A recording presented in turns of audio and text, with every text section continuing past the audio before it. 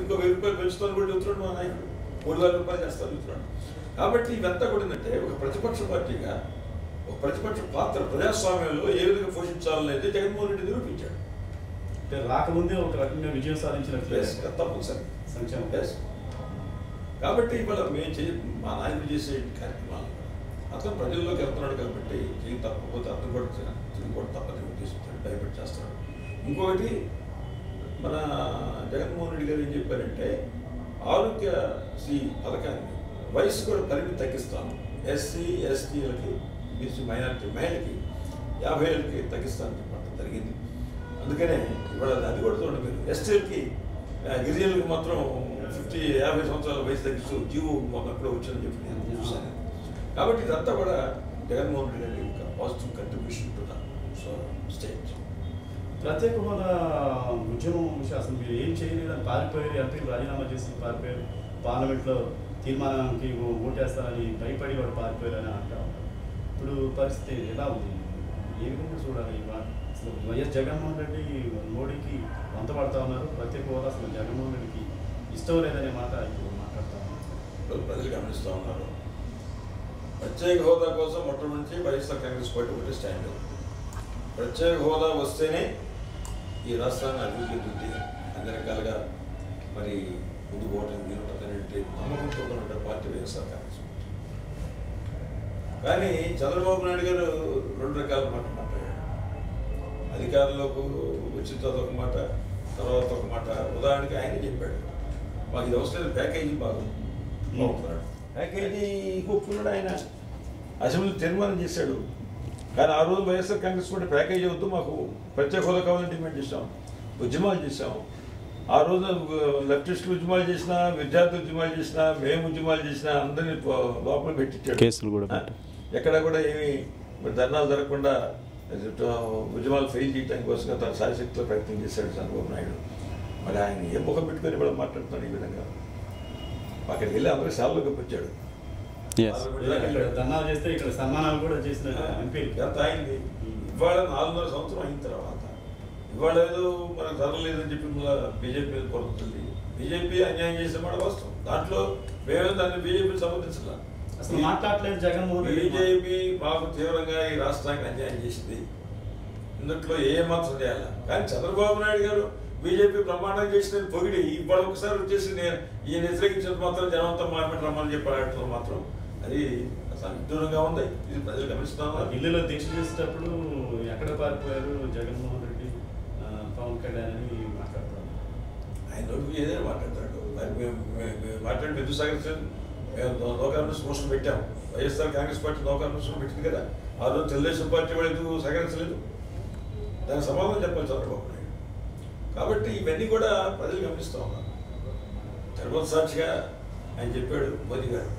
అయ్యా ఈ రాష్ట్రానికి ప్రత్యేక హోదా ఇస్తామని చెప్పాడు. విశాఖకి రైల్వే జోన్ విశాఖ సాక్షిగా. ఏది? ఈ రెండు మాటలు ఆయన ఫెయిల్ అయ్యాడు. విశాఖ ప్రజలకు చిరకాల మంచి విశాఖలో రైల్వే జోన్ రాష్ట్ర ప్రజలు తెలుగు రా- ఆంధ్రప్రదేశ్ రాష్ట్ర ప్రజల కోరిక దీనికి ప్రత్యేక హోదా కావాలి ఈ రెండు వెంకన్న సాక్షిగా చెప్పాడు ఆయన. తిరుపతి వెంకన్న సాక్షిగా చెప్పిన ప్రధానమంత్రి మోదీ మరి ఈ రోజు గౌరవ నాలుగు సంవత్సరమైన ఈ రోజు పట్టించుకోలేదు. పైగా దాని ప్యాకేజ్ అని అది ఇది అని మాట్లాడుతున్నాడు. అదేమంటే చంద్రబాబు నాయుడే ప్యాకేజ్ ఒప్పుకున్నాడు దాన్ని మేము రూపొందించామని ఆయన చెబుతున్నాడు. గుంటూరు సభలో కూడా కాబట్టి ఇవన్నీ చూస్తూ ఉంటే చంద్రబాబు నాయుడు కోసరం వెళ్ళి రాజకీయాలని ప్రజలు గమనిస్తున్నారు.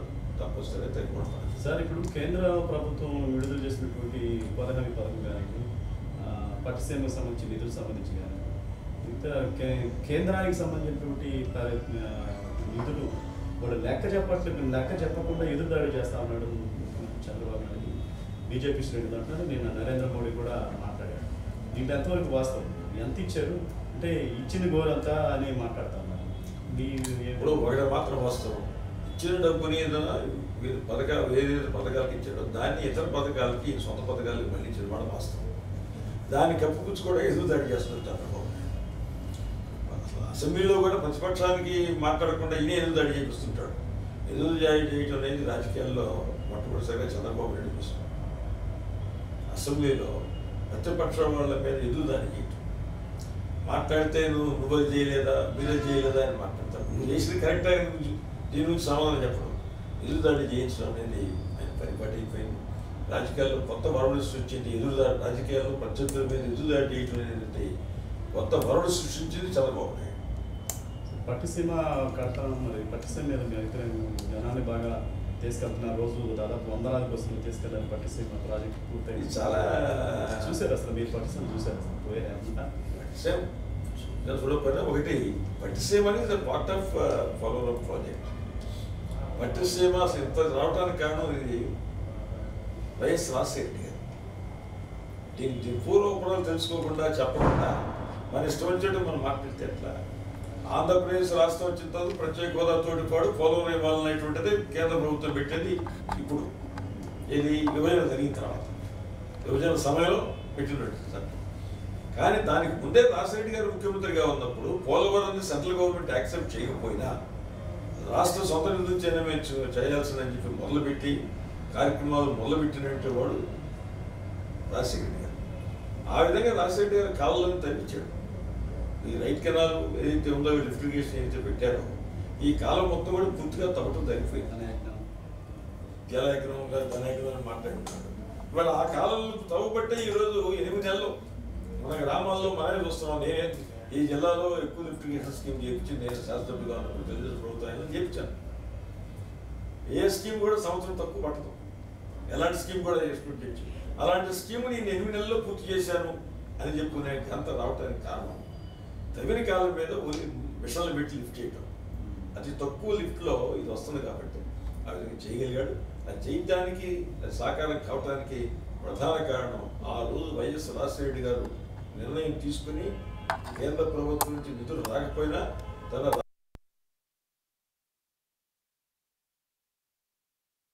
విశ్వాసంతో రాజశేఖర గారు ముందుకెళ్ళి ఆ విధంగా కాలం మొదలుపెట్టి కాలం పూర్తి ఈ వాస్తవాన్ని చెప్పడం. ఇదేదో ఆయన గొప్పగా చేశాడని చెప్పి చెప్పుకుంటూ ఉంటాడు. ఇది ప్రజలకు గమనించాల్సిన పట్టిసీమని కూడా హైలైట్ చేసి చెప్తున్నారు రాయలసీమకి వాటికి వాటర్ మేము తీసుకొచ్చాం పట్టిసీమ ద్వారా ఎత్తిపోత పథకం పట్టిసీమ దాన్ని ద్వారా- ఎత్తిపోత పథకం అంటారు సార్ అది. అసలు లిఫ్ట్ ఇరిగేషన్ లాంటిది. లిఫ్ట్ చేసిన ఆల్రెడీ కాలువలు తవ్వాడు. మొత్తం పూర్తయిన తర్వాత ఆటోమేటిక్ బై గ్రావిటీ వస్తాయి కాలువలో. ఈ లోపు ఏంటంటే ప్రాజెక్ట్ పూర్తిగా మునిపే. ఎంత నాలుగైదు మీటర్ల ఎత్తులో నీళ్ళు వస్తాయి ఫ్లడ్ వాటర్. ఆ ఫ్లడ్ వాటర్ని లిఫ్ట్ చేసి పడేయటం దానికి మిషన్ బిగించారు వచ్చేసింది కాలం ఎనిమిది నెలలు పూర్తి చేసి దానికి ఐదు వందల కోట్లు అయ్యే ప్రాజెక్ట్ రెండు వేల కోట్ల ఎంతో లాగించినట్టు ఇది అంచనా మించి ఇదా డబ్బులు ఎక్కడ దొరుకుతాయా? ఏ విధంగా తొందర త్వరితగతిన డబ్బులు లాగచ్చా అనేటువంటిది చంద్రబాబు నాయుడు చూసుకున్నాడు. వాళ్ళ వాళ్ళకి అదే పని. ఏ ప్రాజెక్ట్ చేపడితే అంత తొందరగా డబ్బులు వస్తాయా? ఎందుకు చెబుతున్నాను ఈ మాట? ఆయన ఆ లిఫ్ట్ ఇరిగేషన్. మంచి అభివృద్ధి పేరుతో అవినీతి చేసిన ఘనత చంద్రబాబు నాయుడు ఐదు వందల కోట్ల రూపాయలతో ఎత్తిపోదు వరకు పూర్తి కావడానికి అవకాశం ప్రాజెక్ట్ని. ఏ ఇప్పుడు ఎంత చేశాడు? పద్దెనిమిది వందల కోట్లు రెండు వందల కోట్లు చేశాడు. చేసి పూర్తి చేశామని చెప్తున్నాడు. ప్రాజెక్టు నీళ్ళు మంచియే దాన్ని ఎవరు కాదలేము కానీ దాంట్లో ఉన్న అవినీతి రూపాయి పెడితే అయ్యేదానికి నాలుగు రూపాయలు పెట్టాడు. ఐదు వందల కోట్లు రెండు వేల కోట్లు పెట్టాడు. ఇవాళ మళ్ళీ అంటేనే మళ్ళీ ఇంత డబ్బు ఎక్కడి నుంచి వస్తుంది? రావాలంటే పురుషోత్తు పట్టణం లిఫ్ట్ చేసి అన్నాడు ఆల్రెడీ రాజశేఖర్ గారు రాయడానికి అయిపోయింది. దాంట్లో మళ్ళీ లిఫ్ట్. దాన్ని బట్టి ఇంకో రెండు వేల కోట్లు అంటాడు.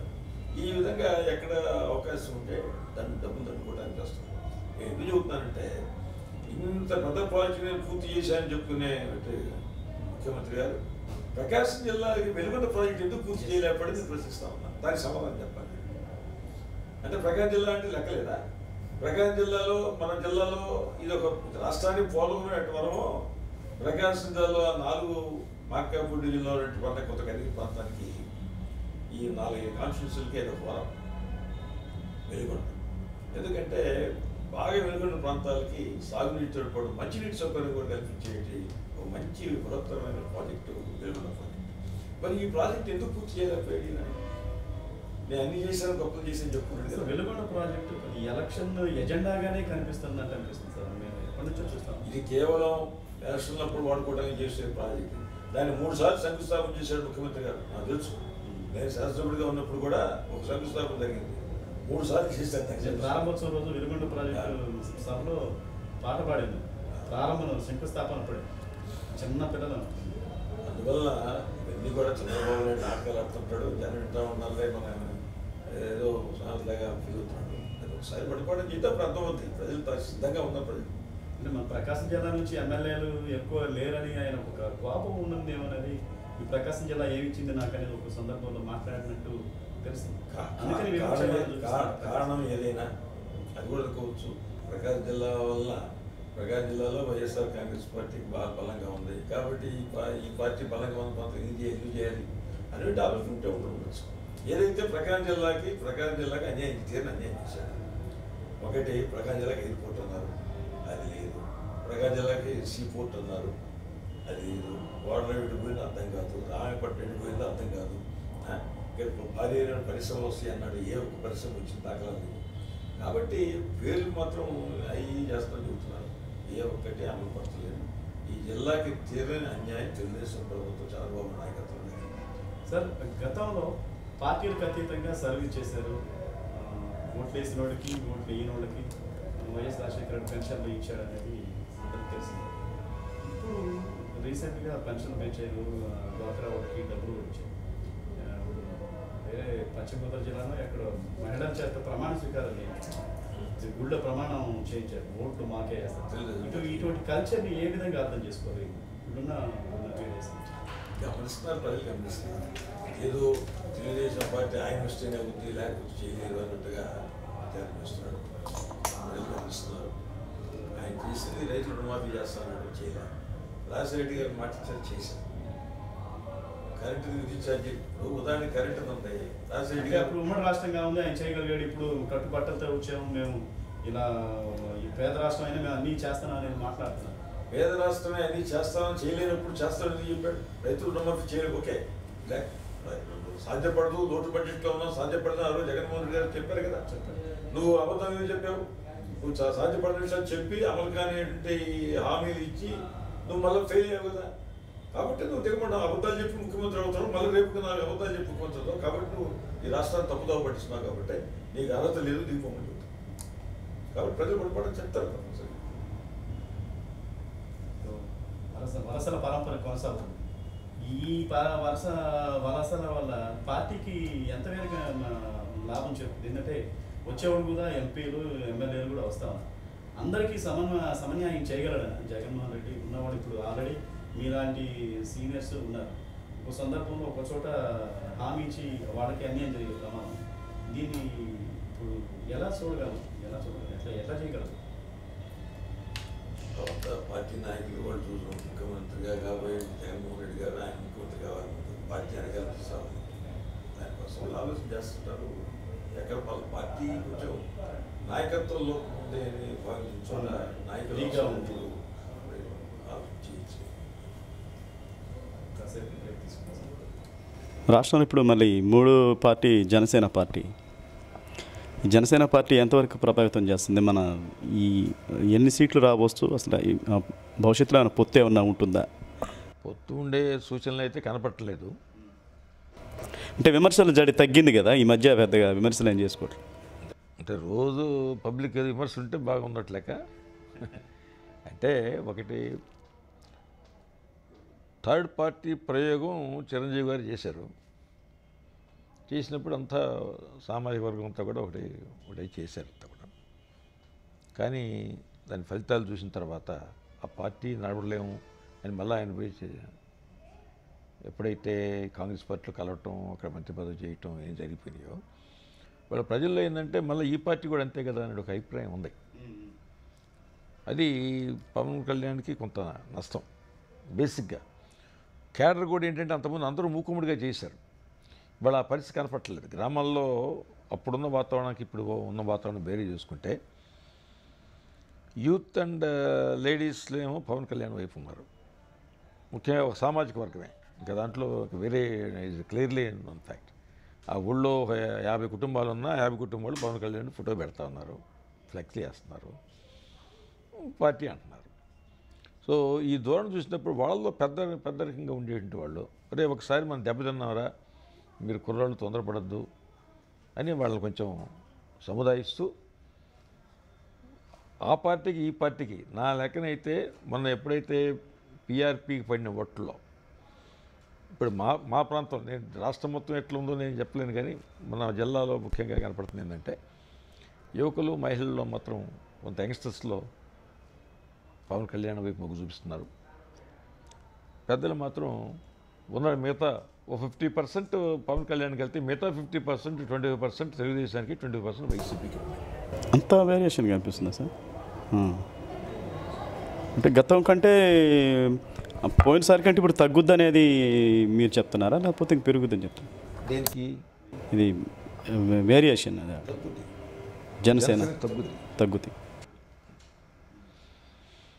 పొత్తు పెట్టుకుంటే సీట్లు పెరుగుతాయి. Like మొన్న కూడా పొత్తులు పెట్టుకోవటానికి టాక్స్ జరిగినాయి అని పుకారు వచ్చింది అది ఎంతవరకు? ఆ విషయం తెలుగుదేశంతో పొత్తు పెట్టుకుంటున్నారని కొంతమంది అంటున్నారు కొంతమంది ఈ పార్టీతో బహుశా వైసీపీతో పొత్తు ఉండదని అనుకుంటున్నాను.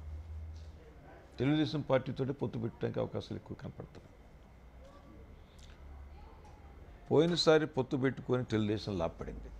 దాన్ని జనసేన పోటీ చేయలేదు మొత్తం తెలుగుదేశం చేసింది అనుకోండి. ఈసారి తెలుగుదేశంతో పొత్తు పెట్టుకుంటే జనసేనకి లాభం జరుగుతుంది అంటే విమర్శలు కూడా తగ్గించారు. మీరు అన్నదాన్ని బట్టి విమర్శలు కూడా తెలుగుదేశం మౌఖికంగా ఇన్నర్గా కానీ పవన్ కళ్యాణ్ మీద విమర్శలు చేయొద్దని చంద్రబాబు నాయుడు క్యాడర్కి కూడా సందేశం పంపించినట్టు. అందుకని ఈ విమర్శలు తగ్గించే ఏ పార్టీ మీద కూడా విమర్శ చేయట్లేదు జగన్. అదే కదా ఇప్పుడు ఉన్న కొంచెం సందిగ్ధం. ఇటు పోతున్నాడు అనేది. చదువు టైం ఉంది కదా. రేపు రే నామినేషన్ వేసే ముందా నడుస్తానంటే ఈ పొత్తులు. అయితే వైసీపీతో పొత్తులు ఉండే అవకాశాలు లేవు. అతను పవన్ కళ్యాణ్ తెలుగుదేశం వైపు మొగ్గు చూపిస్తున్నట్టు కనపడతాం ప్రస్తుతం తరుణంలో జనసేన తెలుగుదేశం పార్టీ మ్యూచువల్ అండర్స్టాండింగ్తో ఉన్నాయనేది తెలుస్తూ ఉంది. బట్ ఒంటరి పోరాటం జగన్మోహన్ రెడ్డి చేస్తున్నాడు. ఇది ఎంతవరకు కరెక్ట్? అసలు ఆ ధైర్యం ఏంటి? ప్రజలు చంద్రబాబు నాయుడు పరిపాలన చూసిన తర్వాత చంద్రబాబు నాయుడు గత ఎన్నికల్లో ఇచ్చిన వాగ్దానాలు పత్రికల్లో వచ్చినటువంటి వార్తలు ముఖ్యంగా అనుభవజ్ఞుడైనటువంటి చంద్రబాబు నాయుడు అయితేనే ఈ రాష్ట్రానికి లోటు బడ్జెట్ రాష్ట్రాన్ని అభివృద్ధి చేయగలడు అనేటువంటిది ప్రచారం చేయడంలో దాన్ని ప్రజలు నమ్మి ఓటేశారు. దానితో పవన్ కళ్యాణ్ పోతుంది జనసేన విషయానికి వస్తే రాష్ట్రంలో జనసేన ఏ విధమైన ప్రభావం చూపిస్తూ ఉంది? అంటే వాప అనుకోవాలా బలం అనుకోవాలా? గతంలో చిరంజీవి గారు పార్టీ పెట్టినప్పుడు ఏ విధంగా ఉందో దాంట్లో సగం వస్తుందని నా అభిప్రాయం. ఫిఫ్టీ పర్సెంట్ మాత్రమే. అప్పుడు పేపర్లో కూడా ఈ సునామీ ఎవరిని ముంచబోతుందని టైటిల్స్ కూడా మీడియాలో కూడా వచ్చింది ఆ ఆ సందర్భంలో. ఇప్పుడు గత ఎన్నికల్లో తెలుగుదేశం పార్టీ ఇద్దరు కలిశారు చేశారు. తెలుగుదేశం పార్టీ